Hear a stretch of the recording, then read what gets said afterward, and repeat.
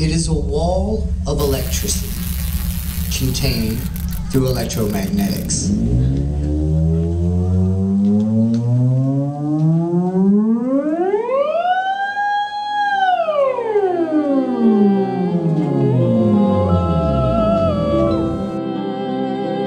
Theremin is a device that was invented almost 100 years ago by the guy who invented the burglar alarm. Theremin was intrigued by the notion that a person's natural body capacitance could interfere with the capacity of a circuit and change its parameters.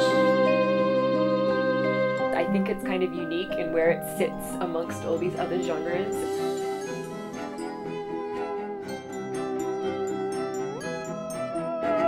Hmm.